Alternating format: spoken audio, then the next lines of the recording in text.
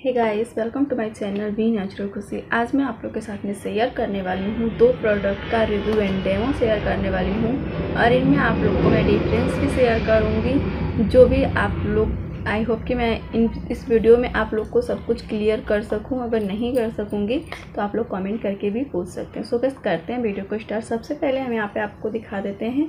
ये है हमारा दोनों प्रोडक्ट एक है हमारा Pond's bright beauty serum cream. दूसरा है हमारा Garnier Garnier bright complete vitamin C serum cream. ये दोनों ही सीरम क्रीम हैं और काफ़ी अच्छा क्रीम है दोनों, क्योंकि मार्केट में काफ़ी ज़्यादा हर एक मेडिकल स्टोर पे आपको इजीली मिल जाता है और इसका जो बेनिफिट है, काफ़ी अच्छा मैंने इसका, दोनों का यूज़ किया है और काफ़ी अच्छा रिज़ल्ट मुझे मिला है। तो सबसे पहले हम बात कर लेते हैं यहाँ पे पॉन्स के बारे में। तो पॉन्स का जो क्रीम है, वो आपकी स्किन को लाइटनिंग करता है ब्राइटनिंग करता है, आपकी स्किन को हाइड्रेट करता है, आपकी स्किन को बहुत ज़्यादा सॉफ्ट भी बनाता है। आपके स्किन के जितने भी दाग धब्बे रहते हैं, उनको सारे निकाल देते हैं। धूप की वजह से अगर आपकी स्किन काली पड़ी है तो भी आपकी स्किन को ये ब्राइटनेस करता है। तो सबसे पहले हम इसकी पैकेजिंग की बात करें तो इसकी पैकेजिंग जो आप देख सकते हो ऐसा है। इसको, इसका एक कार्डबुक जैसा मिलता है, उस कार्डबुक में रहता है। तो यहाँ पे हमारा जो क्रीम है वो है ये। अब हम इसके प्राइस की बात कर ले तो इसकी प्राइस है एट्टी रुपीज़ एट्टी रुपीज़ में आपको कितना ज़्यादा प्रोडक्ट मिलता है? ट्वेंटी थ्री ग्राम प्रोडक्ट इसमें मिलता है। तो ट्वेंटी थ्री ग्राम अच्छा है क्योंकि प्राइस के हिसाब से ये क्वांटिटी भी अच्छा है। अब सेकेंड हम बात कर लेते हैं गार्नियर की।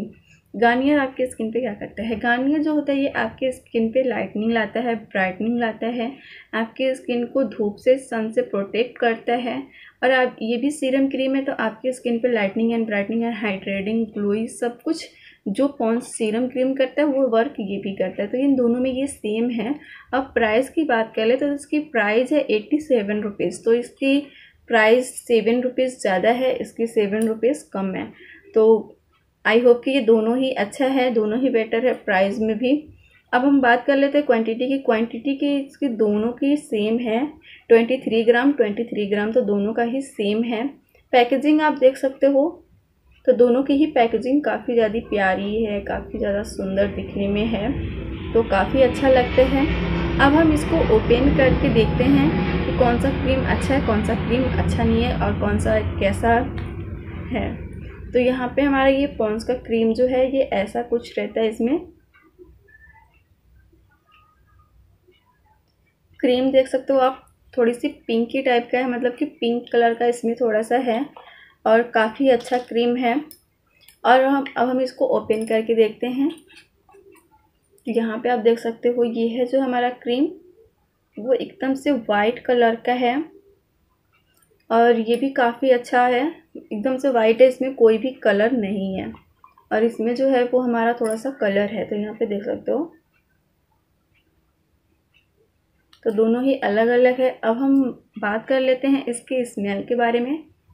तो पॉन्स का स्मेल जो है, बहुत ज़्यादा अच्छा है, बहुत ज़्यादा माइल सी है। गार्नियर की है, ये भी बहुत ज़्यादा अच्छी स्मेल है। इसमें थोड़ा सा गुलाब के जैसा स्मेल आता है, वैसा स्मेल आ रहा है। काफ़ी अच्छा है, दोनों का स्मेल ही अच्छा है।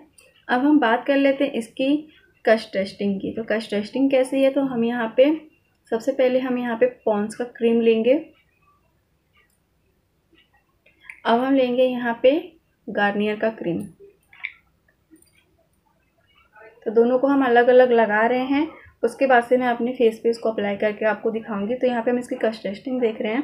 तो इसकी पॉन्स की जो क्रीम है, वो भी बहुत ज़्यादा क्रीमी है और काफ़ी ज़्यादा स्मूथ है।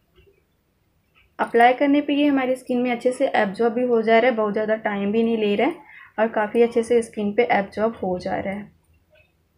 और यहाँ पे हमारी जो ये है गार्नियर की तो यहाँ पे ये भी बहुत ज़्यादा स्मूथ है, बहुत ज़्यादा हल्का लाइट वेट जैसा बोलते हो ना, वैसा है ये और काफ़ी अच्छा है। इसको भी अप्लाई करने में ये अच्छे से एब्जॉर्ब हो जा रहा है, काफ़ी ईजली तरीके से ये दोनों ही अप्लाई हो जा रहा है।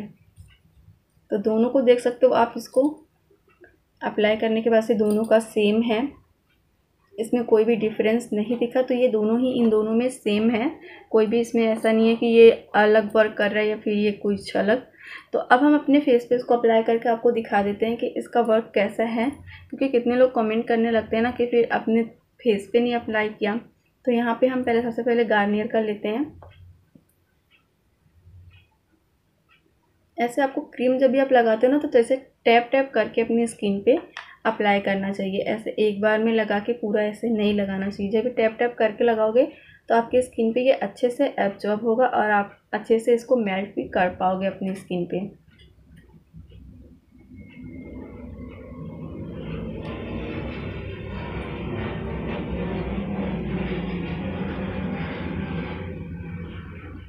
जब भी आप कोई भी क्रीम लगा रहे हो ना तो आपको पहले, सबसे पहले स्टार्टिंग यहाँ से आई से करना चाहिए। ताकि जब भी आपकी आइज़ पे अच्छे से लगेंगी तो आपकी स्किन पे जो डार्क सर्कल वगैरह रहते हैं, आँखों के नीचे, वो दिखेंगे नहीं। तो हम यहाँ से इसको अप्लाई करते हुए अप्लाई कर रहे हैं।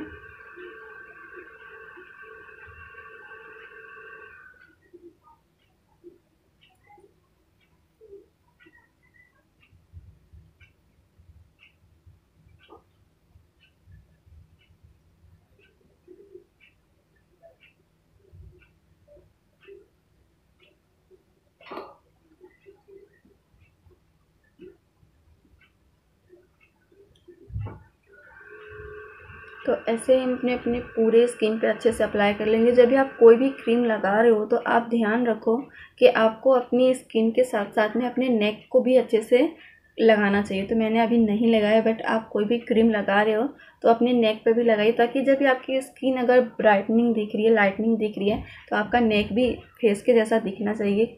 देख सकते हो यहाँ पे थोड़ा सा डिफरेंस दिख रहा है। ये जो हमारी स्किन है, वो काफ़ी ज़्यादा वाइट हो गई है और नेक पे जो है वो वहाँ पे वाइट नहीं दिख रहा है। तो इसके लिए आपको दोनों जगह पे लगाना चाहिए ताकि आपकी स्किन जो है वो सेम एक जैसा दिखे। तो यहाँ पे देख सकते हो हमारी क्रीम जो है वो अच्छे से लग चुकी है, काफ़ी ज़्यादा अच्छे से अप्लाई हो चुकी है। तो यहाँ पे कम गार्नियर का जो है वो बहुत ही ज़्यादा ब्राइट कर रहा है स्किन पे और ये जो पॉन्स का है वो थोड़ा सा कम ब्राइट कर रहा है, ऐसा वाइट से नहीं कर रहा है। तो दोनों ही अच्छा है बट यहाँ पे जो पॉन्स का है वो बहुत ही ज़्यादा सॉफ्ट टाइप का है। मतलब जैसा बोलते हैं ना कि बहुत ज़्यादा सॉफ्ट लग रहे हैं। और ये जो हमारा गार्नियर का है, ये भी सॉफ्ट है बट पॉन्स के मुकाबले ये थोड़ा कम सॉफ्ट है। तो यहाँ पे दोनों का थोड़ा थोड़ा डिफरेंस है। यहाँ पे हमारी स्किन पे देख सकते हो यहाँ पे बहुत ज़्यादा वाइटनिंग नहीं है क्योंकि ये बहुत वाइट क्रीम नहीं था और ये थोड़ा सा वाइट ज़्यादा था तो इसके लिए ये हमारी स्किन पे ज़्यादा वाइट दिख रहे हैं। तो दोनों में डिफरेंस आप दोनों खुद ही देख सकते हो कैसा है, कैसा नहीं। आपको जो अच्छा लगे आप वो परचेज़ कर सकते हो। रह गई बात इसकी साइड इफ़ेक्ट तो इसकी साइड इफ़ेक्ट आपको कुछ नहीं होने वाला इसका साइड इफ़ेक्ट वगैरह नहीं है।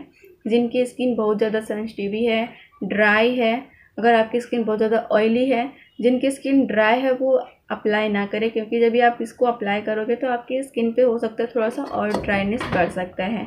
तो जब भी आप, अगर आपकी स्किन ऑयली है तो आप इसका यूज़ कीजिए, आपकी स्किन से ऑयलपन जो है वो रिमूव हो जाएगा और आपकी स्किन जो है वो बहुत ज़्यादा बेटर हो जाएगी पहले के मुताबिक।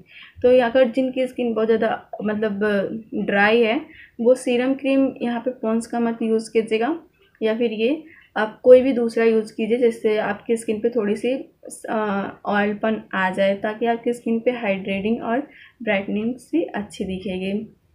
तो आई होप कि वीडियो आप लोग को थोड़ा भी हेल्पफुल लगा। अगर हेल्पफुल लगा तो वीडियो को लाइक करें चैनल को सब्सक्राइब करें। सो मिलते हैं मेरे नेक्स्ट वीडियो में, तब तक के लिए बाय बाय टेक केयर